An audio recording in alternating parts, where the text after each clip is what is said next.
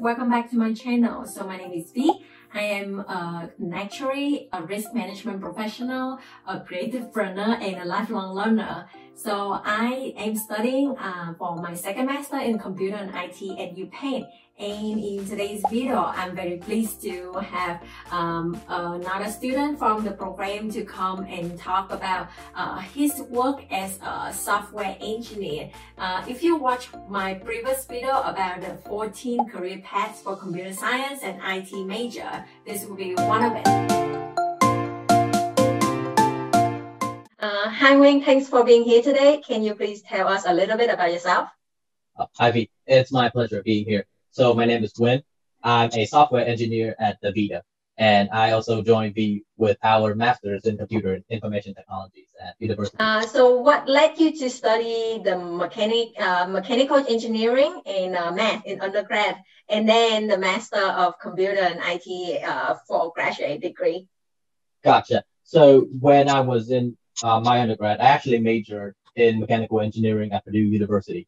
And then after I graduated, I started my job as a design engineer to build vibratory pile driver. So it's, I do both mechanical, electrical, and computer software programming on the project itself. And as I keep on working with the project, I realized, do I want to live underneath the API, which is to use software that other people created and then build products upon it? Or do I want to live above the API, which is to create the software that other people created? I realized after I worked for a while, I really enjoy working above the API, building the software that other engineers use. That's so much fun.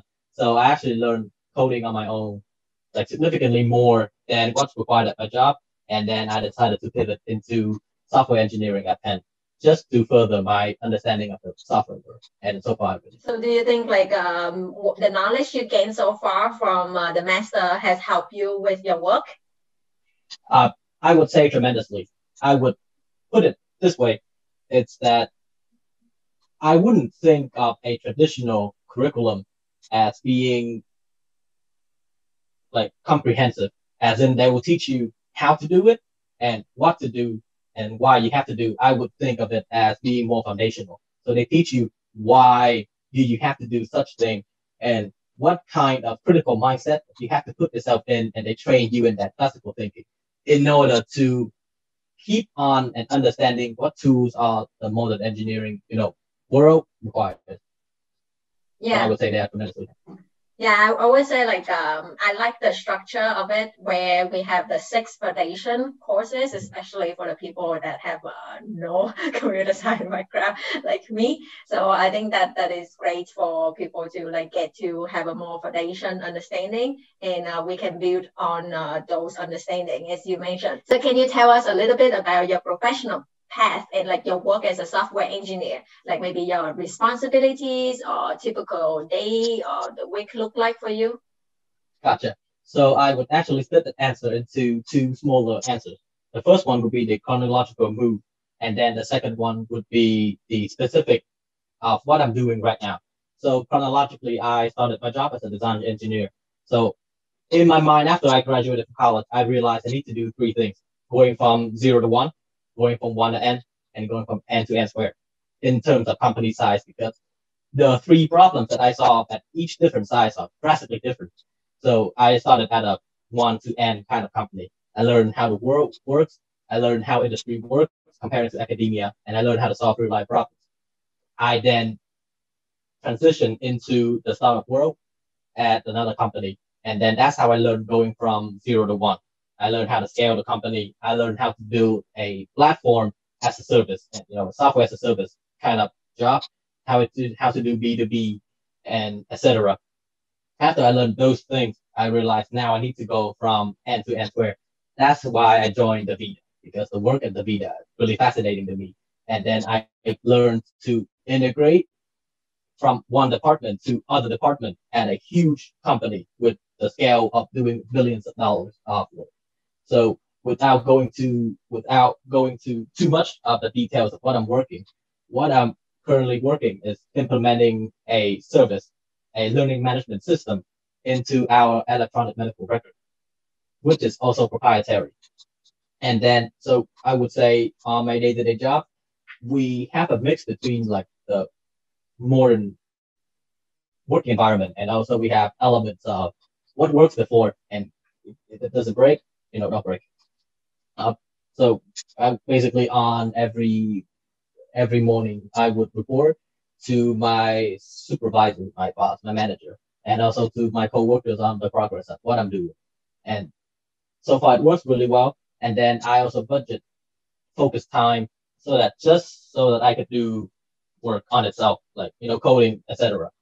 I would say in contrary to what other people think, as a software engineer, I would spend the majority of my time Googling because I don't know the, sometimes I don't know like, oh, I could reinvent the wheel or I could implement an API that, you know, just works as well. And I don't have to worry about other problems like introducing bugs and any kind of production problem. It just makes more sense to use a tool other people created. But I have to, I have to make sure that the tools that I'm using make sense, have the approval of my technical manager. And then it just fits in the grand scheme with regarding other departments too. So a lot of times just reading documentation, implementing APIs, writing code, debugging, etc. Yes, I would say the Google part is so true because like it makes sense. Like the information, the knowledge of so many people out there for us to leverage is so much easier uh, to use yeah. and for us to create something from like the ground. What strength do you think would be or like skill set knowledge will be like the most important for a software engineer? I would say in contrary to what other people think, I think soft skills are actually really, really, really important. Of course, it's like foundationally, you need to get stuff done you need to be able to write code. You need to be able to test it. You need to be able to think not just in terms of the code you are writing, but you know, future repairability. You need to make sure that it's scalable. You have to take all of those things into consideration. But at the same time, it just if you cannot work with other people, you cannot scale your work. At the end of the day, if you want to build a three billion, four billion dollar product, that means you cannot do everything on your own. You need to have great communication, great leadership, and with other department, with other teammates.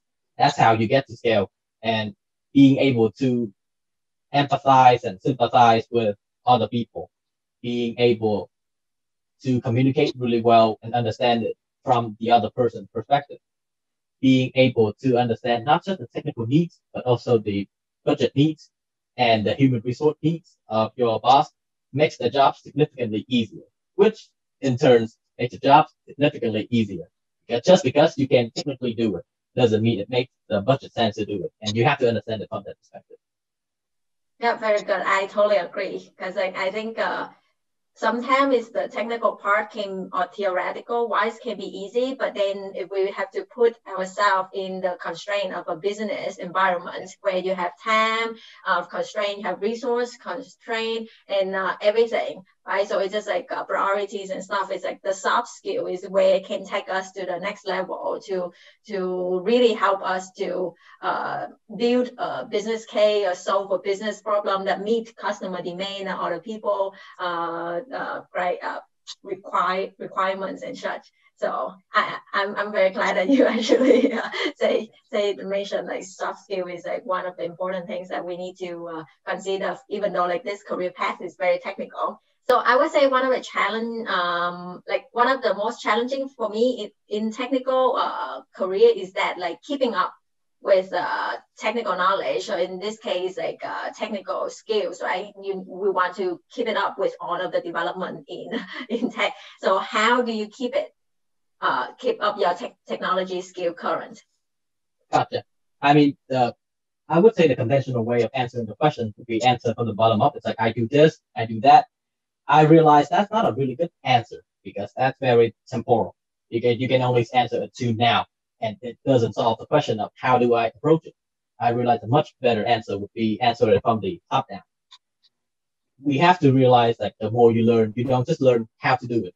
You also have to learn the history of development, which takes quite a bit of time, you know, a couple of months just to understand it.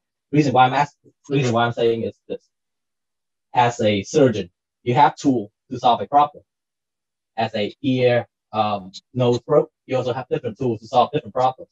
So you have to understand what a specific language and a framework is best at in order to know what should you do next. Even to do a data analysis, even do AI, machine learning, etc. Right? Jupyter Notebook and Python will be your to go. And if you want to do in that, you want to keep on the mindset of, oh, so I want to make this step easier. What library should I pick up next? So you pick up the library for the sake of making your work easier, not picking it up for the sake of, I want to pick it up because I need to pick it up. Right? You use C for um, operating system, etc., like the Linux kernel. So you want to know what you want to do next, and you delve in that ecosystem. Within that ecosystem, you pick up the tools and the library that fits your needs the most. And that's how you know what to do next because that's what you want to do and you want to find the easiest way to do it. Right. And that's how you keep on learning because even though, like, let's say with uh, React, right? React changes so many times. They go from uh, a single way, they go into promises, and now they go into hook. Really different way of solving the same problem of being, you know, using stateless asynchronous algorithm. But at the same time, it's like, can you understand why they have to do the way they do it? It's easier to catch up because you are not catching up with everything. Like, I would say systemic changes actually happens really slowly. Like every day, it, the, the, the new libraries are like the volatility of the stock market. On the long run, it, it goes up, but sometimes it goes a little bit up, a little bit down. Most of the time, you need you just need to focus on the long run. Yeah, that's a very good way to approach this. And um, it's like I think like what you're trying to get at is like knowing the foundation of things, like knowing the mm. background, the underlying, the history, so that like if we have a strong foundation, it's easier yeah. for us to just pick up like incremental uh, knowledge uh, or like information that we we need to keep it up uh, so yeah, I, I really yeah. like your approach of uh, uh, studying or learning, keep us up to date. So now that like uh, you've been uh, working and studying for a few years now, so like if you can give an advice to your younger self, what would you say? I would say in terms of sometimes you need to understand the core message of what you are trying to do. I think the biggest lesson that I learned with software engineering it's abstraction. That in terms of thinking, how can I abstract all the steps I'm doing as a solution to something else? I think of it as a lot of people chases jobs, and in order to chase jobs, you need to learn stuff. And you always have the question that as an 18 year old, right? I don't know. I'll be honest, when I was 18, I don't know what I want to study. I, I asked my dad, dad, what should I study? Should I do math, economics, computer science, or mechanical engineering? And dad didn't really have a concrete answer for me. So I just picked mechanical engineering because I feel like, oh, that's actually physical, right? I can actually touch it. If it breaks, I kind of know how to fix it, right? That should be easier. And as I go into, you know, like two, three years in my career, I realized I really, I really like the solving the problem and less with the hands-on as I get more confident myself. So I would say the biggest lesson is just the abstraction of thinking takes a lot of time. Just be really patient with yourself and then focus on whether if you are a builder, which I am, it uh, wrote ahead. It just pick whatever you want to do. And then as you venture a little bit into it, do internship, do research. If there's aspect of it that you really like and move into that. So you can move into electrical, you can move into from mechanical engineering to electrical engineering if you really like the electrical stuff. Or if you like, if you do mechanical engineering and you really like the computer part, do computer engineering or do software engineering. Just try, you know, make mistake, repeat, and make progress. I hope you find today's video helpful and if so, please don't forget to give it a thumbs up and uh, subscribe to the channel if you haven't done so. So I hope you understand more about the work of a software engineer in tech. And uh, yeah, I think one of the biggest takeaway is that even though for a very quantitative career, uh, developing soft skill is still greatly important. And it's especially it will be even more important if you're looking to become a manager, a leader. So I wish you another happy productive week ahead and I will see you in another episode. Bye now!